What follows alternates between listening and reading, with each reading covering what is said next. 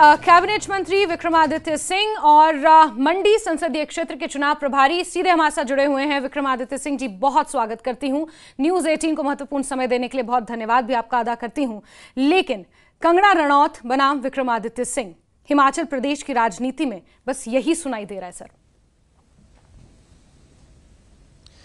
देखिए, मैं आपको पूरा विश्वास दिलाना चाहता हूँ कि आने वाले समय में जब ये चुनावी जब ये चुनावी हुंकार भरी जाएगी और शंखनाद होगा तो जो उस इलाके के रियल इश्यूज़ है लोगों के इश्यूज़ है संसदीय क्षेत्र के जो विकासात्मक इश्यूज़ है वहाँ के आईआईटीज है सड़कों का निर्माण है वहाँ के लोगों के रोज़गार की बात है ओपीएस जो कांग्रेस पार्टी ने लोगों को कर्मचारियों को दी है उसकी बात है इन चीज़ों के ऊपर बात होगी। मैं आपकी बात से बिल्कुल सहमत हूँ कि ये चुनाव किसी व्यक्ति विशेष का नहीं है और व्यक्ति विशेष तक ही सीमित नहीं रहना चाहिए। वी बिलीव कि ये हिमाचल का चुनाव है हिमाचलियत के ऊपर ये चुनाव लड़ा जाना चाहिए और क्या इश्यूज़ यहाँ के लोगों के हैं उसके ऊपर चुनाव लड़ा जाना चाहिए और हमारा पूरा फोकस भी इसी विषय पर रहेगा। इसका इसको इसका मैं आपको पूरा विश्वास दिलाना चाहता हूँ। लेकिन विक्रमादित्य जी आप क्यों आ, ऐसा मानते हैं कि कंगना रनौत ये सब नहीं कर पाएँगी? हिमाचल के मुद्दों को वो क्यों नहीं उठा पाएँगी? या फिर हिमाचल की जनता के साथ कनेक्ट वो नहीं कर पाएँगी? क्योंकि क्योंकि क्योंकि कंगना रनौत जी का तो मैं बहुत मान सम्मान करता हूँ हमारी बड़ी बहन की तरह है। मगर उनको हिमाचल के बारे में एबीसी नहीं पता। उनको तो ट्यूटर कर कर भेजा गया है दिल्ली से। कि आपने इतना बोलना है इतना नहीं बोलना है। और इससे ज़्यादा तो मीडिया में बात ही नहीं करनी है क्योंकि सबको पता है भाजपा को भी पता है कि Kangana Ranaut is the queen of controversies अगर उन्होंने अपना मुँह खोल दिया तो कॉन्ट्रोवर्सीज की बौछार हिमाचल के अंदर लग जाएगी। उनको हिमाचल के बारे में आप दावे के साथ मैं ये कह सकता हूँ आप उनसे पूछना कि मंडी संसदीय क्षेत्र के अंदर कितने विधानसभा क्षेत्र आते हैं और उनके अगर वो नाम ले लें तो मैं मान जाऊँगा। उनको ये नहीं पता कि कितने ब्लॉक्स है हम्म। कितने बूथ्स है कितने इसमें जो है पॉपुलेशन है कितनी महिलाएँ हैं कितने बुज़ुर्ग हैं कितने हम्म। युवा साथी है कितने यहाँ पे प्रोजेक्ट्स है हम्म। क्या यहाँ के इश्यूज़ है उनको इसके बारे में A B C Kangana Ranaut ji को नहीं आता है। केवल और केवल उनको इसलिए उतारा गया है क्योंकि वो बॉलीवुड की एक अभिनेत्री है। अच्छी बात है बॉलीवुड में उन्होंने अच्छा काम किया है इसमें कोई दो राय नहीं है।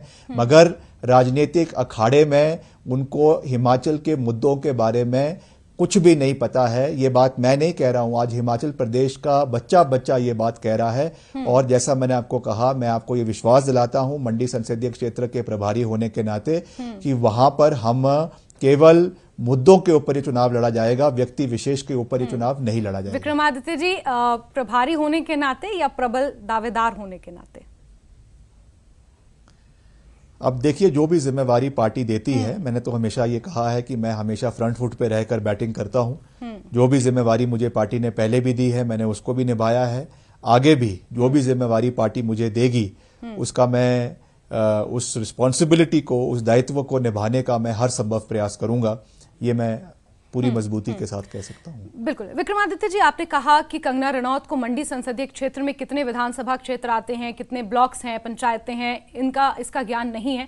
और आ, कुछ हद तक वी अग्री कि प्रोबेबिलिटी इस चीज़ की है कि शायद नहीं हो। लेकिन समय बहुत है अभी। हिमाचल प्रदेश में वोटिंग होने में समय बहुत है। आपको लगता है कि कंगना रनौत जिस स्पीड से चल रही हैं छः दिन में छः विधानसभा क्षेत्रों का दौरा कर रही हैं समझ रही हैं मंडियाली में लोगों से बात कर रही हैं लोगों से कनेक्ट करने की कोशिश कर रही हैं चुनौती अगर मान लीजिए हाइपोथेटिकली आप मंडी संसदीय क्षेत्र से चुनाव अगर लड़ते हैं जिसकी अटकलें हैं राजनीतिक गलियारों में तो आप मानते हैं चुनौती होगी? देखिए मैं मानता हूँ चुनौती नहीं होगी वो इसलिए नहीं होगी क्योंकि हम्म। ये केवल एक ड्रामा है ये केवल एक रियल वर्ल्ड को रील वर्ल्ड में बदलने का एक जो है अनसक्सेसफुल प्रयास भाजपा द्वारा किया जा रहा है। अगर उनको इतनी सहानुभूति इतना लगाव अपने क्षेत्र के लोगों के साथ होता तो जब हिमाचल में और खास करके मंडी संसदीय क्षेत्र में हम्म। इस शताब्दी की सबसे बड़ी आपदा आई हम्म। उस समय कंगना रनौत जी कहाँ थी क्या उन्होंने एक भी जगह जाकर जहाँ पर जहाँ के वो आज दौरे कर रही हैं उसी इलाकों में कई लोगों ने अपनी जानें खोई कई लोगों ने अपने बगीचे को खो दिया कई हम्म। लोगों के सड़कें बंद हो गई कई लोगों के बहुत नुकसान वहाँ पर हुआ। क्या वो एक बारी भी उन क्षेत्रों के अंदर गई क्या उन्होंने वहाँ के लोगों की जो है दुख दर्द जानने की कोशिश करी? आज केवल ये कहना कि मैं हिमाचल की बेटी हूँ। मैं ये पूरे मजबूती के साथ कह सकता हूँ कि हिमाचल में और भी बहुत सी ऐसी बेटियाँ हैं जिन्होंने हिमाचल का नाम रोशन किया है। चाहे वो पत्रकार है चाहे वो जज है चाहे वो एडवोकेट्स है चाहे वो स्पोर्ट्स पर्सन है सब लोगों ने हिमाचल का नाम रोशन किया है।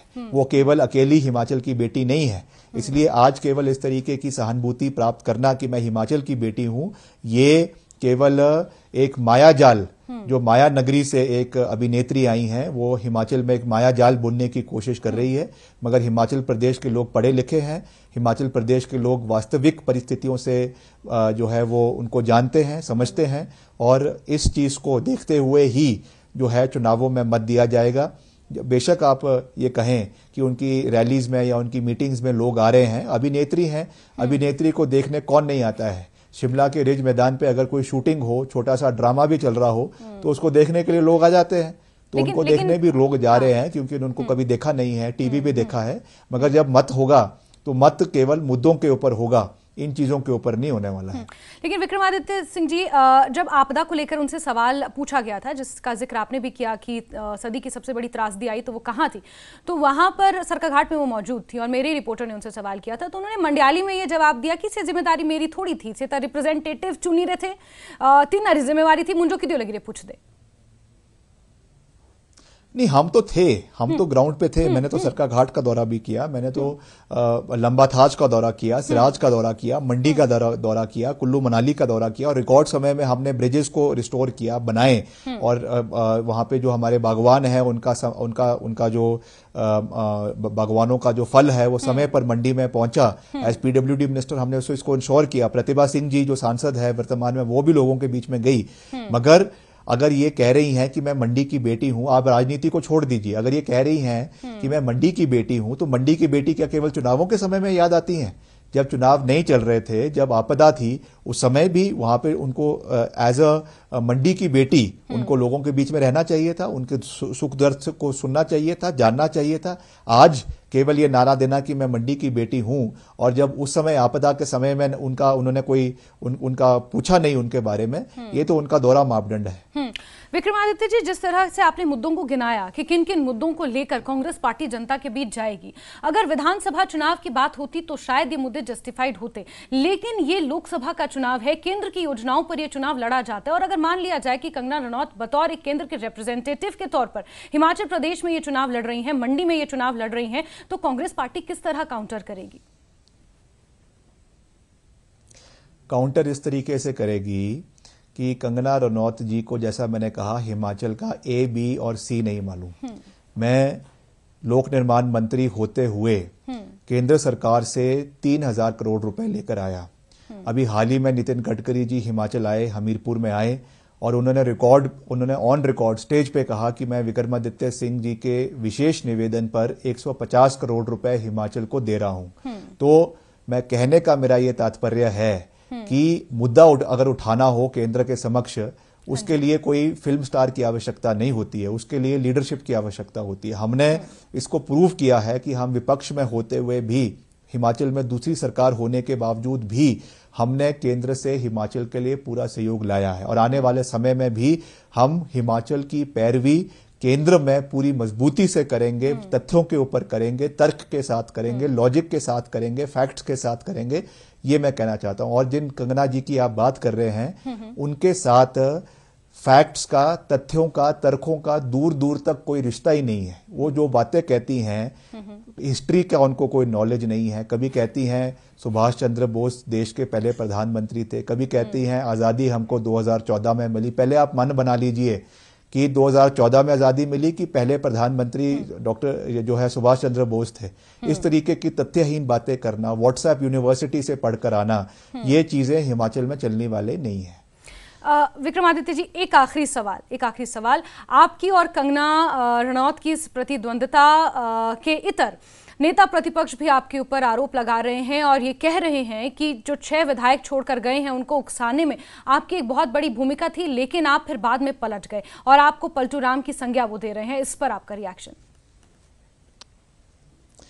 देखिए वो मुझे पलटने का जो है जयराम जी कह रहे हैं मैं ये कहना चाहूँगा आपको तो जो है अयोध्या जाने का निमंत्रण तक नहीं आया। हिमाचल से I was the only leader only leader जिसको जो है अयोध्या जाने का निमंत्रण आया। और मैं हर परिस्थिति को मद्देनजर रखते हुए अयोध्या 22 जनवरी को पहुँचा। जो मैंने बात करी उसको मैंने पूरा किया। इसलिए मुझे आपसे कोई सर्टिफिकेट लेने की आवश्यकता नहीं है। और जहाँ तक भाजपा में किसी कि, कोई नेता गए तो किन कारणों की वजह से गए वो खुद उस चीज़ को जानते होंगे।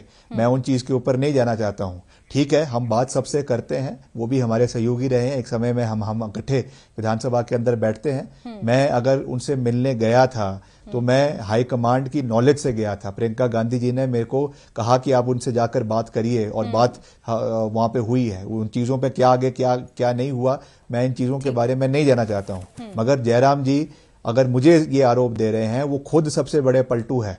उनके मुख्यमंत्री काल में जितने फैसले पे वो सुबह लेते थे और शाम को उन फैसलों से पलट जाते थे कोरोना काल में हम्म। उन्होंने कितने अधिकारियों के फैसले लिए शाम को पलट दिए गए अगर उन चीज़ों के ऊपर मैं जाने लग गया तो हम्म। जयराम जी को अच्छा नहीं लगेगा इसलिए मैं उनका बहुत मान सम्मान करता हूँ और मैं उनके बारे में कोई टिक्का टिप्पणी नहीं करना चाहता हूँ अंत में मैं यही कहूँगा हम्म। कि ये चुनाव कंगना का नहीं है ये चुनाव किसी और का नहीं है ये चुनाव किसी व्यक्ति का नहीं है ये चुनाव मंडी के लोगों का होगा हिमाचलियत का होगा वहाँ के लोगों का होगा रोज़गार के ऊपर होगा हम्म। वहाँ के इंफ्रास्ट्रक्चर के ऊपर होगा वहाँ के मेडिकल इंस्टीट्यूट्स के ऊपर होगा वहाँ पे जो हमने काम कांग्रेस पार्टी की सरकार ने आपदा के समय में किए हैं हम्म। उसके ऊपर होगा जो सहयोग मैं दिल्ली से लेकर आया हूँ उसके ऊपर होगा और मुद्दों के ऊपर होगा ये बिना मतलब की जो राजनीति है हम्म। कौन खा रहा है क्या पी रहा है क्या कर रहा है। इन लोगों इन चीज़ों का हिमाचल प्रदेश के लोगों से कोई सरोकार नहीं है बिल्कुल बिल्कुल विक्रमादित्य सिंह जी बहुत बहुत शुक्रिया। न्यूज़ 18 को अपना महत्वपूर्ण समय देने के लिए विस्तार से हमारे साथ बातचीत करने के लिए आपका बहुत बहुत शुक्रिया। तो ये थे लोक निर्माण मंत्री विक्रमादित्य सिंह। हमारे साथ बातचीत कर रहे थे और तमाम मुद्दों पर खासकर कंगना रनौत को लेकर जिस तरह से ये लड़ाई छिड़ी हुई है बयानबाजियों का सिलसिला छिड़ा हुआ है इस पर उन्होंने अपनी प्रतिक्रियाएँ दी हैं अपनी बात रखी और आपको